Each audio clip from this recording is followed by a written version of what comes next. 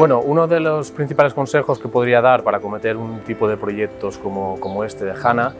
es, primero de todo, buscar partners de confianza y rodearte de, gente con experiencia que, te asesore y colabore contigo. Luego, por otro lado, también internamente dentro de las empresas es contar con, con, con tu negocio, porque realmente eh, no viene siendo un proyecto al uso tecnológico, sino que es un proyecto de,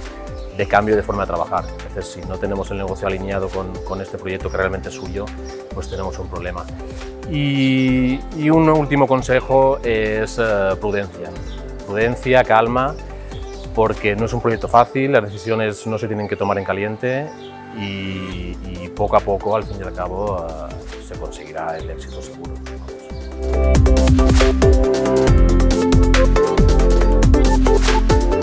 Yo creo que aparte de los eh, aspectos básicos como puede ser el precio o el alcance,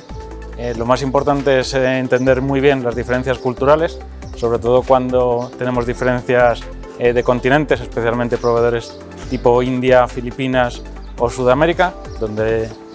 el cambio de cultura es todo un reto.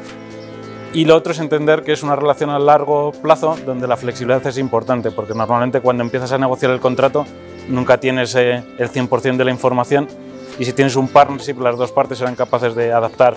tanto el alcance como el precio como las condiciones de tal manera que al final sea un éxito.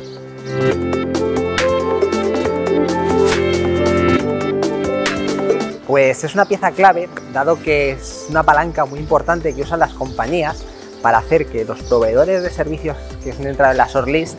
faciliten una respuesta mucho más ajustada a todas las necesidades del cliente, el aspecto técnico, funcional y por supuesto económico.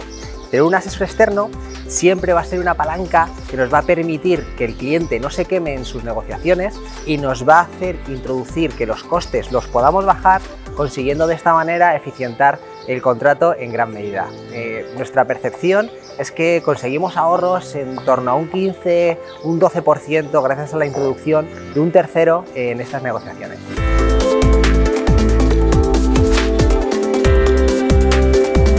Para Casino es importante un proveedor que sea capaz de entender la parte más local, más específica, porque el casino es un negocio eminentemente presencial,